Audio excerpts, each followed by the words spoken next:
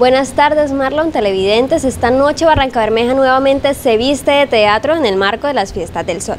Hace pocos minutos acaba de terminar una rueda de prensa con los actores Santiago Alarcón, Rafael Sea y César Álvarez, quienes dieron detalles sobre lo que será esta obra que se presentará en la noche de hoy.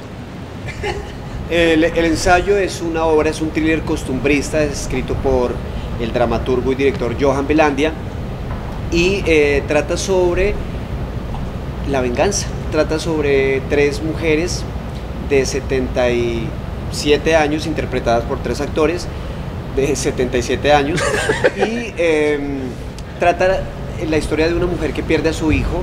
Está recreada en, las en la época de los 90, en la época de la violencia en, en Medellín, y entonces eh, esta mujer se entera o averigua más bien cómo fue que murió su hijo y aquí comienza todo el plan de esta mujer de 77 años para castigar no al verdugo de su hijo, sino a las madres que no supieron criar a ese hijo.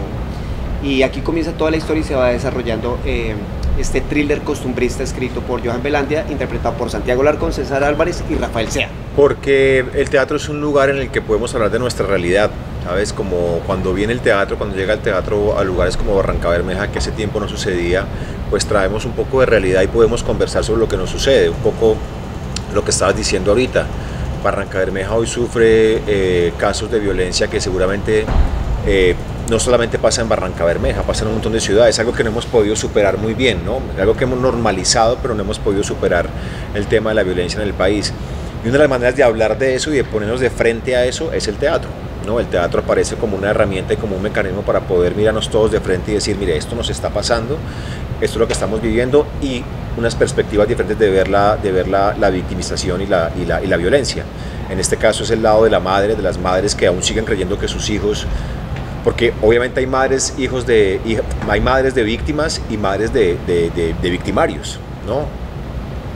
Que de otra manera siguen siendo víctimas, ¿no? Entonces como que, sí, es verdad, es como un, un, un, un, bucle, es una cosa que se repite y se repite en el país y que no hemos podido superar. Entonces el teatro da la posibilidad de que podamos hablar, de que podamos conversar y demostrar eh, a través de la comedia o los géneros la realidad del país. Se le hace la recomendación a todas esas personas que ya tienen sus boletas a llegar a la hora estipulada. Mientras tanto, yo estaré en primera fila esta noche viendo el Teatro de Barranca Bermeja. Marlon, sigan ustedes con más en estudio.